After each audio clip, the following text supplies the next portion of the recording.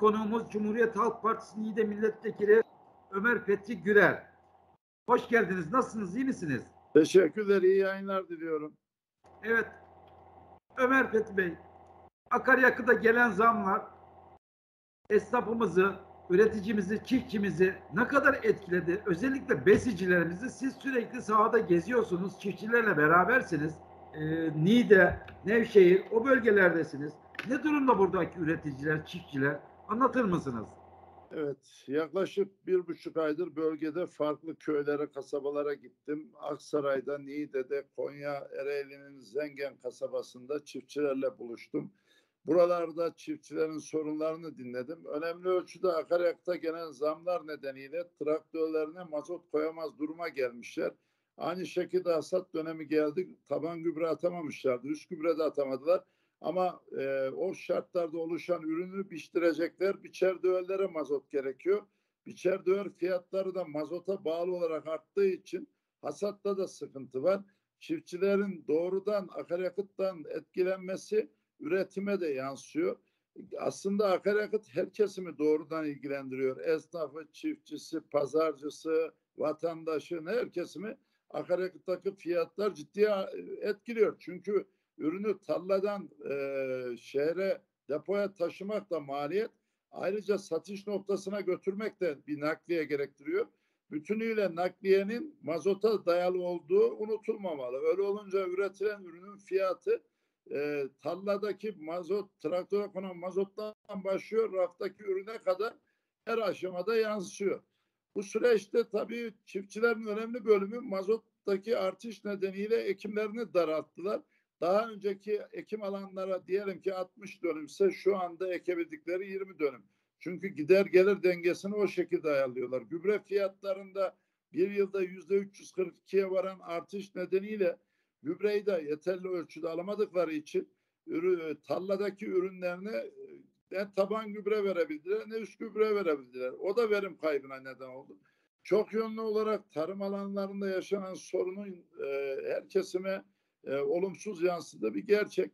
Bu arada çiftçinin yanında besici de doğal olarak hem mazot e, taşımada kullandığı araçlar için hem de elektrikteki artıştan su dahil kullandığı için önemli ölçüde etkileniyor.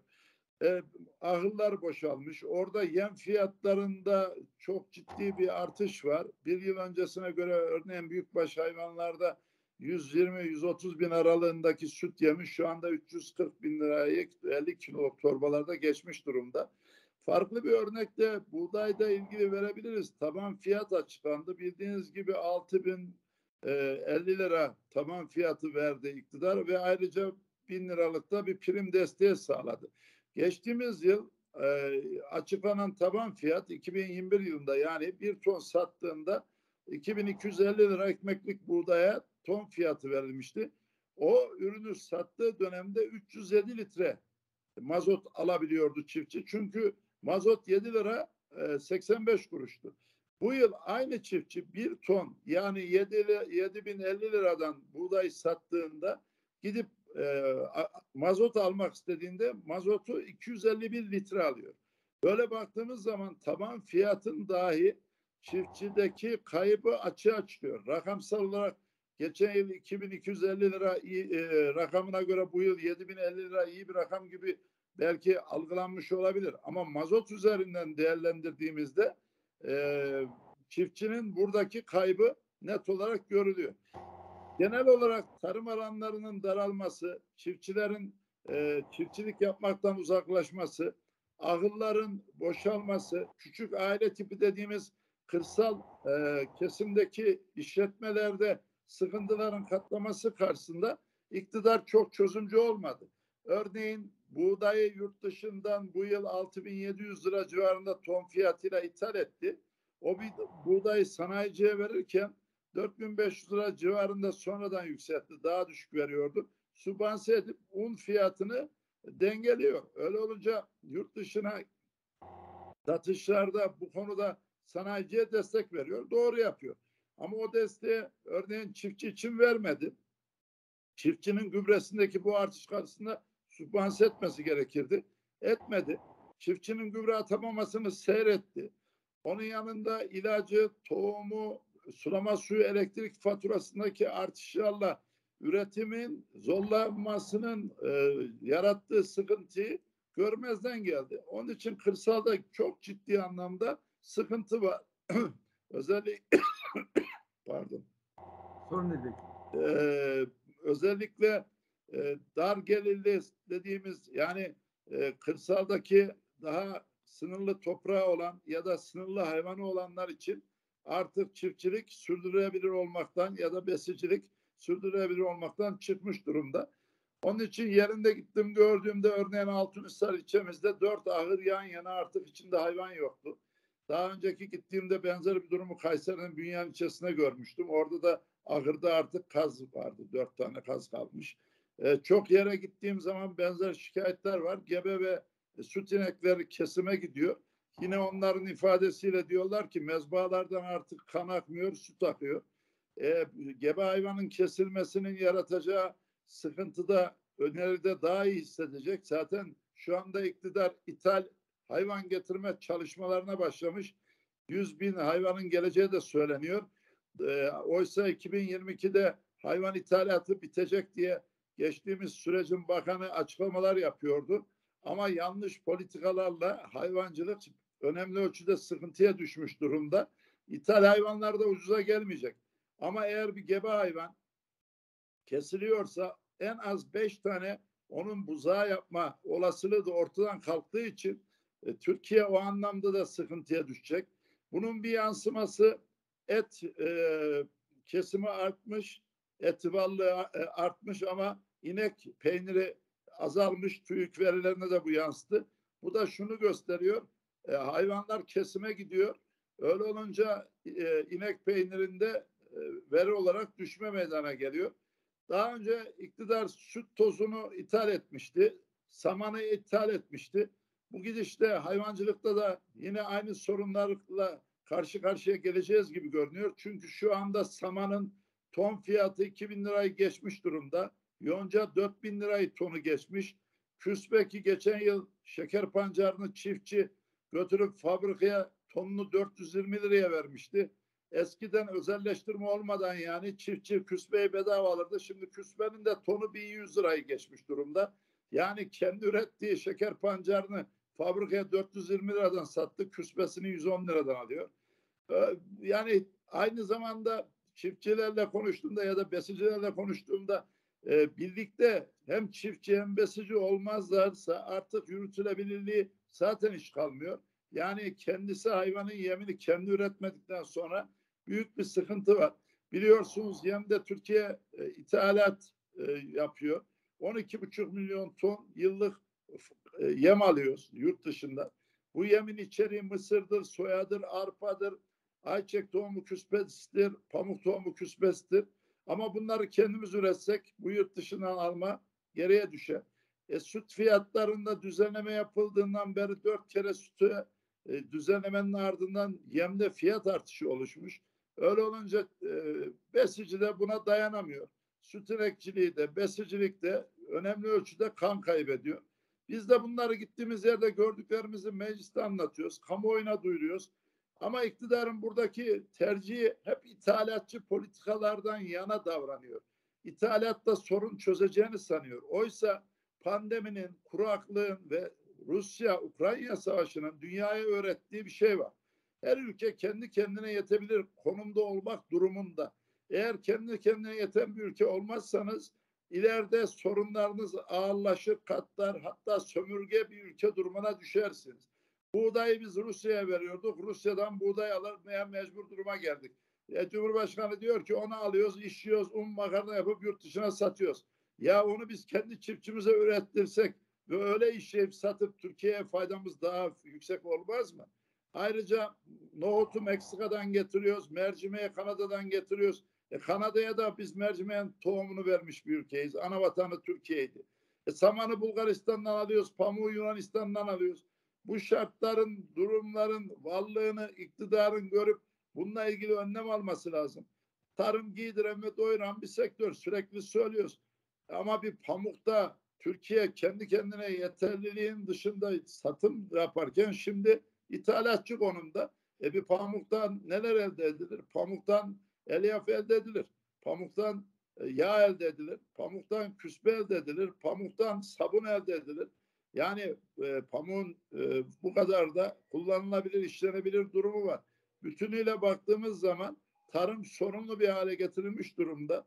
Bu sorunlu halden kurtulmanın yolunu da mutlaka bulmak gerekiyor. Bunun da bu siyasi iktidarla olmayacağı açık yapılacak bir erken seçimde e, Türkiye bunlardan arınırsa çözümler kolay. Bir avantajı şu var, e, diğer olaylarda bazı değişik, değişikliklerle süreci yönetmeniz gerekir ama tarımda örneğin sonbaharda yine ekim yapılacak. Sonbaharda eğer gübreyi, tohumu, ilacı sübvanse ederseniz, çiftçiye destek verirseniz, mazotlu öteveyi, kadeveyi kaldırırsanız, sulama suyu elektrik faturasının fiyatını düzenlerseniz, yani çiftçinin toprakla tohumu buluşturmasının yolunu açarsanız, bu sorunların önemli ölçüde aşılmasının da yolunu açarsınız. Ama siyasi iktidarın öyle bir niyeti olsa geçen yıl yapardı. Geçen yıl çiftçi taban gübreyi atamadı.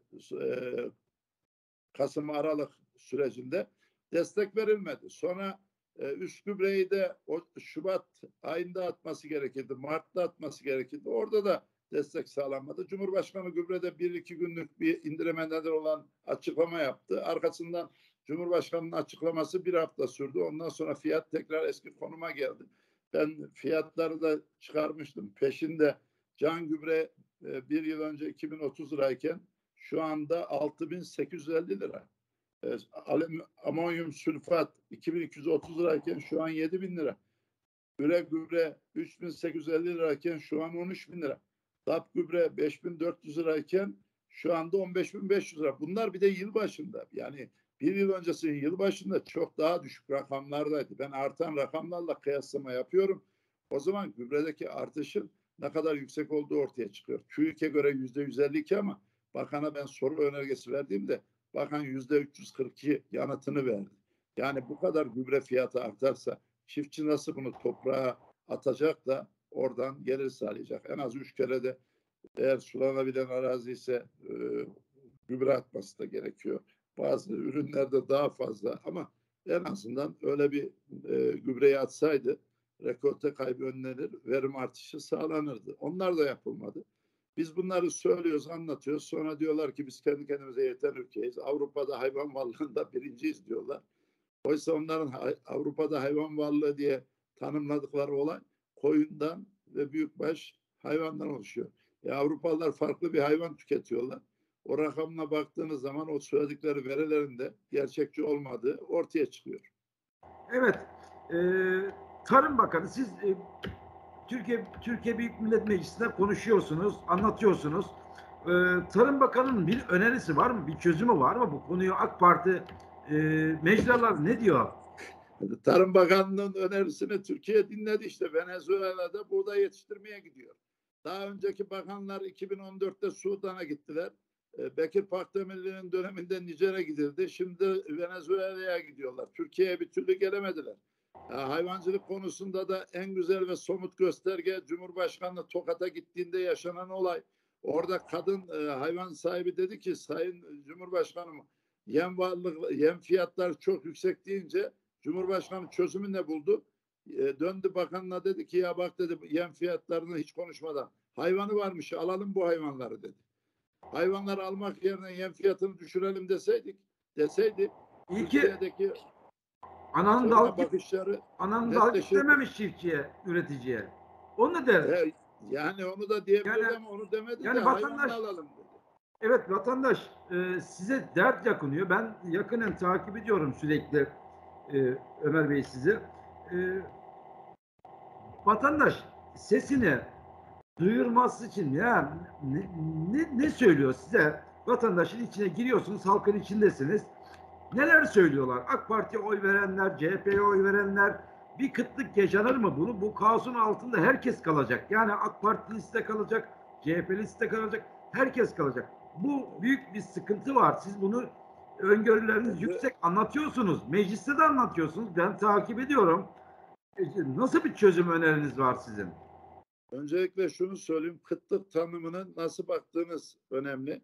Eğer bir ürün rafta varsa gidip de gelirine göre o ürüne erişemiyorsa yurttaş o da dolaylı bir kıtlıktır. Örneğin et ve süt ürünlerindeki fiyat artışı nedeniyle eğer vatandaş gidip de et alamıyorsa, süt mamullerini alamıyorsa o da dolaylı bir kıtlıktır. Kıtlık tanımını onun için geniş bir yapıda ele almak lazım. Rafta ürün var ama paranız yok gidip alamıyorsunuz. O da bir e, sorun.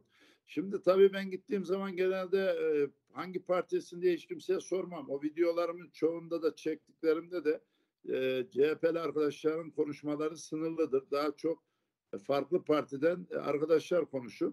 En son Aksaray'a gittiğimde bir arkadaş e, diyordu ki ben iki dönem oy verdim, oyun bana geri göndersinler. Ayrıca babasına kızıyordu. Beni işte bunlara oy vermek üzere büyüttü. Keşke büyütmeseydi diye tepki gösteriyordu. Farklı yerlerde benzer e, tepkiler var. Yine bir tarladan gelirken mobileti durdurdum. Ne var ne yok diye sordum. O da dedi ki ben kayıtlı da üyeyim AK Parti ama bundan sonra oy vermeyi düşünmüyorum. Bu süreç böyle devam ederse de oy vermeyeceğim dedi. Başka bir e, patates tarlasında bir çiftçiyle konuştuğumda o da 19 yıldır onlardaydım artık değilim diye ifade etti. Sorun şu tabii çözümü olan bir şeyi çözmek yerine daha da içinden çıkılmaz hale getiren bir siyasi iktidar var. Birkaç tane basit öneri söyleyeyim yani kolay yoldan. Örneğin mazotta e, çiftçinin kullandığı mazotta ÖTV KDV kaldırılabilir. Sulama suyu elektrik faturaları üretim süreci boyunca alınmayı pasaj sonuna bırakılıp o konuda bir indirim sağlanabilir. Benim basitinden kuyu ruhsatları e, verilerek ki KOP bölgesinde kuyu ruhsatı verilmiyor. O kuyu ruhsatları verilip yağmurlama ve damlamaya geçilerek su kullanımı azaltılarak çiftçiye destek verilebilir. Bir an önce Güneydoğu Anadolu projesi KAP bitirilerek o bölgede üretimin artırılması, sulu tarıma geçilmesi sağlanabilir. Milli gelirin yüzde biri çiftçiye verilmesi gerekir. Kanun var bu konuda 2006 yılında çıkmış. Bugüne kadar verilmediği için çiftçilerin alacağı 210 milyar üzerinde para var. O para çiftçiye dağıtılabilir. Ayrıca çiftçilerin kredi e, borçlarından dolayı özele, kamuya ve kooperatiflere olan borçlarından dolayı faizler siline Bunlar Cumhuriyet Halk Partisi'nin sözleri arasında da var, vaatler arasında. Ayrıca bir yıl önceden hangi bölgede hangi ürün yetişecek, ne kadar üretilecek, çiftçi zarar olursa bunun karşılanması taahhüt edilir. Çiftçiye ek ek ek demekle olmaz. Çiftçiye ektikten sonra yaşayacağın sorun ve sıkıntıda biz senin arkandayız, zararını karşılayacağız demek gerekir. Ayrıca kırsala dönen kadınların sosyal güvenlik primlerinin devlet tarafından karşılanıp özendirilmesi sağlanır. Katma değerli ürüne ürünlerin dönüşmesinin yolu açılıp markalaşmaya gidilir. Onun yanı sıra e, dondurulmuş ve işlenmiş gıdaya dönüştürülerek ürünlerin çöpe gitmesi engellenir. Bir dönem patates çöpe gitti, bir dönem soğan çöpe gitti. Farklı ürünlerde de benzer durumlar yaşanıyor. O ürünler eğer dondurulmuş ve işlenmiş gıdaya çevrilselerdi bu sorunları yaşanmamış olacaktı. Yani yapılacak işler basit. Kooperatifleşme yeniden geliştirilebilir. En azından Mustafa Kemal Atatürk'ün Cumhuriyet'in ilk 10 yılında tarımı nasıl var ettiği, tarımla Türkiye'yi nasıl geliştirdiği, o dönemde Ziraat Bankası'nın nasıl çiftçi kuruluşu yaptığı, Tarım Kredi Kooperatifinin fonksiyonunu nasıl çiftçinin lehine kullandığı ve oluşturduğu, bunlara bakılırsa sorunların çözümü kolaylaşır. E, özelleştirme kavramından vazgeçilirse, kamucu bir anlayışla tarıma bakılırsa, çiftçi desteklenirse, destekler zamanında verilirse sorunların aşılması mümkündür. Orada bir örnek de vereyim. Biliyorsunuz şeker fabrikalarını özelleştirdiler. Şu an şeker 25 liraya kadar kilosu çıktı. Çok iddialı söylüyorum. Eğer şeker fabrikaları özelleştirilmeseydi bunun yarısı fiyatına vatandaş şekeri bugün alabilirdi. Özelleştirmeyle şeker fiyatları artırıldı. Türkiye 21 üründe arz açığı var. Arz açığı olmadığı tek yer şekerdi. Şekeri de sonunda ithalatçı konuma getirdiler. Evet.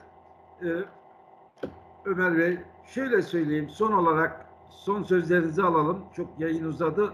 Vatandaşı sıkmayalım. E, çözüm önerisinden bahsettiniz. Neler yaşanıyor, neler şey. E, Büyük Millet Meclisi'nde de önerilerinizi söylüyorsunuz. Niğde milletvekili olarak. E, çiftçi, üretici anasını alıp gitti mi? Şimdi çiftçi, üretici anasını falan alıp bir yere sakın gitmesin. Çünkü bu ülkeyi ayakta tutan onlar. Onlar tarımda tohumu toprakla buluşturmaya ve hayvanlarını sahiplenmeye bütün olumsuz koşullara rağmen devam etmeleri sağlasınlar. Zaten onlar şöyle diyor. 20 ineğim varsa birini kestirip onu yem parası olarak diğer ineklere yem olarak diğer ineklere yediriyorum diyor. E, bu gidişin e, fazla uzun sürmeyeceği bir gerçek. E, ilk seçimlerde oylarını seçmenler doğru kullanırsa bunlar gittikten sonra tarımı biz kısa süre içinde kendi kendine yeter konuma taşırız. Çünkü kafa değişti mi sorunlar ortadan kalkar. İthalat değil, kendi çiftçimize, kendi besicimize destek veren bir yaklaşımla konulara bakarsa bunların çözümü kolaylaşır. Türkiye'de hava var, su var, toprak var. Üretecek çiftçi, besici, hayvanına bakacak besici var. İyi yetişmiş ziraat mühendisleri, veterinerler var. Bunun yanında odalar var, bildikler var. Bunların yapısı da özelleştirip güçlendirildiğinde Türkiye'nin tarım sorunları e, belli bir planlamayla bir hemen hemen e, kısa süre içinde çözülür. Çünkü planlama önemli. Planlama olmadan da sonuca gidilemez. Öngörüyle, planlamayla tarımı kısa sürede toparlamakta olası olur. Ama tabii hayvancılıkta kayıpları geri getirmek biraz zorlaşmaya başladı. Çünkü bir ilçede söylediler 16 binden 10 bine düşmüş hayvan varlığı. Bu da ithalat demek. İthalat dediğin zaman hem Türkiye'den döviz gidiyor hem de oradan gelen hayvanların sağlık sorunları, beslenme sorunları katlıyor. Özel yem istiyorlar, özel bakım istiyorlar. Bizim e, ana hedefimiz çiftçi refahını sağlayıp bununla tarımı geliştirmek. Ömer Fethi Gürel Bey, net olarak söylüyorum, tarafsız olarak. Ben e, inşallah o bölgeye geldiğimde sizinle de yanınızda da uğrarım, ziyarette bulunurum. E, benim şöyle bir önerim var. AK Partili milletvekili sizin gibi halkın içine inip, çiftçinin içine inip, üreticinin içine inip bu sorunları da e, sorunları dinliyor mu halkın sorunlardan? Bir bağımsız bir medya alıp benim gibi birini alıp e, tarafsız olarak hangi bölgede nerede ol, olursa olsun fark etmez. Siz de AK Partili vekili bir arada çiftçiyle buluşturmak istiyorum. Böyle bir Tarım Bakanlığı'ndan böyle bir vekil var mı? Çiftçinin sorunu soracak. Benim benim e, siyasi e, dönemim ikinci dönem. 26 ve 27 hiçbir siyasi kişilikle ilgili hiçbir yerde cümle kurmadım. Hiçbir partinin yaptıkları yapmadıkları ile ilgili partili kişilerle ilgili de konuşmadım. Çünkü temel hedef Türkiye'nin sorunları çok ağır. Bireylerden öte kafayla uğraşmak lazım. Yani siyasi iktidarın varlığının yanlışlarıyla. O da Adalet Kalkınma Partisi bir bütün olarak yaptıklarının 20 yılda tarımı yok etme boyutuna getirdiğini gördüğüm için de hedef olarak Adalet Kalkınma Partisi'nin yanlış politikalarını vurguluyorum. Bu anlamda benle gelen olursa her yere giderim. Türkiye'nin neresinde hangi AK Partili, MHP'li, İyi Partili fark etmez. Ee, diğer partili arkadaşlar da. Çünkü tarımın siyaseti olmaz. Tarım giydiren ve doyuran sektör dediğim için orada insanların üretimde kalmasını sağlamak lazım. Ben şuna inanıyorum. Bu yaşanan süreçte farklı partilerden insanlar da üzüntü duyuyorlar. Çünkü gıdanın soruna dönüşmesi herkese yansır. Bakınız biz tarımı konuştuk. Bunun bir de gıda kısmı var. Yani raftaki olay. Orada da sorunlar artıyor. Taklit taşış ürünler var. İnsan sağlığını risk edecek boyutta kaçak üretimler de artıyor. Çünkü enflasyonun yüksek olması, gıdanın erişilirliği ile ilgili sorunların bulunması insanları kontrolsüz ürünleri de alma durumuna itiyor. Bununla ilgili Tarım ve Orman Bakanlığı'nın kadroları yeterli değil. Belediyelerin bu konudaki yetkileri 2004 yılında alındı. Belediye laboratuvarları da 2011 yılında yeni bir düzenlemeyle yetkileri kaldırıldığı için tümü Tarım ve Orman Bakanlığı'nın bünyesinde. Ama Tarım Orman Bakanlığı'nın bu konuda yeterli kadrosu yok. Bakın acı bir şeydir. Portör mühendisi dediğimiz akciğer filminin de içinde olduğu e, gıda ile ilgili üretim yapılan tesislerde çalışanlar için zorunluluk olan e, gıda belgesi, e, sağlık belgesi artık oradaki işverenin e, e iki dudağı arasında kaldı. Yani e, onunla ilgili kontrol edecek Tarım ve Orman Bakanlığı'nın yeterli kadrosu yok. Ne kadar yapılıyor? Ama eskiden bunları belediye kontrol ederdi. Yani fırında çalışanı, gıdada örneğin e, hazır yemek üreteninden tutun da tükettiğiniz her türlü gıdanın olduğu yerde portör muayenesi olmadan, akciğer filmi çekilmeden, sağlık kurulu raporu olmadan ve 6 ayda bir düzenli bu kontroller yapılmadan kimse çalıştırılamazdı. Şimdi bir sürü mülteci yurt dışından gelen oradan buradan nereden geldiği belli olmayan insan gıda üretimlerinde kaçak olarak çalıştığı yönde çok sayıda ihbar da alıyoruz. Bunlarla ilgili de denetim lazım. Ama Adalet Kalkınma Partisi iktidarları ne yapıyor? Meclise getirdikleri bir kanunla kamuoyunda bu konuda yazı yazanların bir yıldan üç yıla hapsini istiyor. Yani siz nişasta bazlı şurubun insan sağlığı üzerindeki etkisini yazarsanız bununla ilgili e, kanıt gösteremezseniz sizi bundan sonra cezaevine koyacaklar. Böyle bir tasarı geliyor önümüzdeki günlerde. Ya da işte Hindistan'dan ithal gelen buğday için kamuoyuna açıklama yaptıktan sonra bakanlık yalanladı. Bir ay sonra belge ortaya çıktı. Yalanladığı süreçte siz o haberi yaptıysanız yalan haber yapmaktan ceza alacaksınız. Böyle de gerçeklerin halkın tarafından bilinmesini engellemek için düzenleme çalışmaları da var. Yani hem sorunu çözmüyorlar hem sorunun büyüklüğünü görmüyorlar hem insan sağlığının ne kadar riski altında olduğuna bakmıyorlar hem de bunu söyleyen, yazan ve konuşanı ceza vermek için yasal düzenleme yapmaya çalışıyorlar. Bunu Ama da burada vurgulamakta yarar var. Aba altından sopa gösteriyor. Basın özgürlüğü de ortada. Dünyada kaçıncı sırada olduğumuzu biliyoruz. Artık 200. sıraya gidiyoruz dünyada basın özgürlüğü olarak. Evet. Oysa ki basın hürdür, engellenemez ama her türlü engellemeler çıkacak karşımıza. Evet. Biz de ona göre hareket edeceğiz. Ee, evet, çok teşekkür ederim yayınımıza Evet. katıldınız. İyi akşamlar. Ee,